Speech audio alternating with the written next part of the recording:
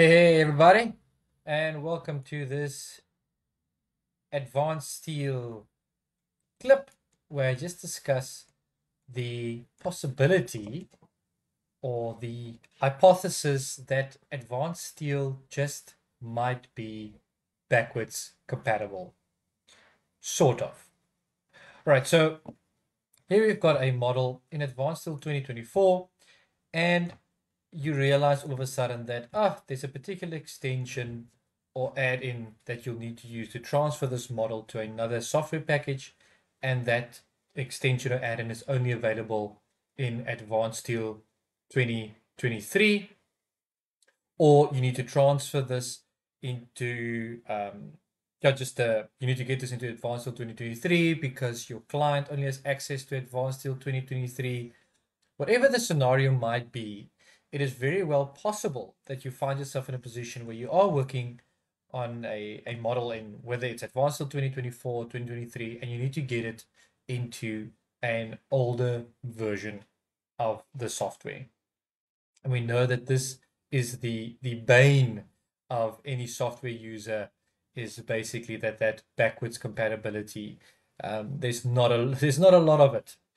So what I just want to show you, so I'm in Advance Steel 2024. As you can see, I've got my model here. I've saved my model and I'm going to close it now. What I'm going to do is I'm going to open up Advance Steel 2023 and I'm going to try and open up that file. Okay, so here we go. There's that training model file. And this is what you're going to get. Advanced cannot read this DWG format as the 7.22 and will be closed. And the problem is that you can also, you also are not able to open this up in previous versions of AutoCAD as well. So you can't even use AutoCAD as a bridge between the different versions. But all right, there is a way. Okay, so I'm just going to open this up again. So where I came across this is that in Revit, once you've installed the Advance Steel extension, which is freely available, I noted that Revit files are exported as .smlx files, which uh, if you're using the Advance Steel extension, which can then be imported into Advance Steel. So what you can do is if you look in your Advance Steel tabs, you go to Export and Import, then there's Advanced Export, and you see there's that SMLX file type, and you go Advanced export. Then we're going to export this as training model.smlx. I'm going to hit save. The model must be saved to keep the export compatibility. Yeah, sure. I'm going to save that. And then with this model still open, I'm going to go to Advance Steel 2023, export, import, advanced import, and I'm going to import that .smlx file and hit open.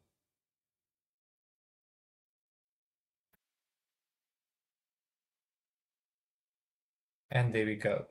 The display settings are a bit different for my 2023 and 2024 versions, but there is your model with its connections as well.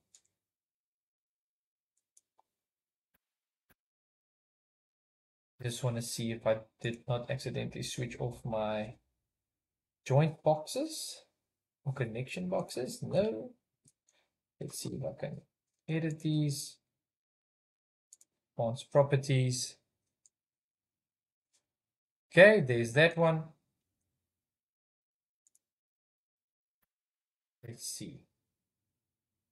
And there's our apex again. So I just made this a bit more difficult for myself because I probably, I think I turned off my um, connection boxes in Advance Steel 2024 before I exported the model.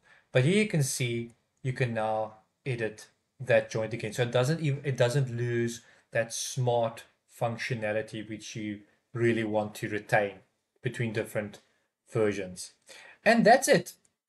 I think there might be a problem if you have a joint or connection that's only available in Advance Steel 2024 I'm not sure how that's going to transfer between different version, but versions. But if they have the same connections, if those connections are available in both versions or even in previous versions, so Advance Steel 2022 etc., I don't think that you're going to have a problem. So I hope that this helps you out. Please hit that like button and subscribe. Uh, Chaka, Chaka, thank you very much in the comment section if it did help you, just so that I know as well. And you're welcome to request other content as well. I'll be happy to have a look at it for you. So, yeah, I hope that you have an awesome afternoon or morning further, wherever you are. And I'll check you soon.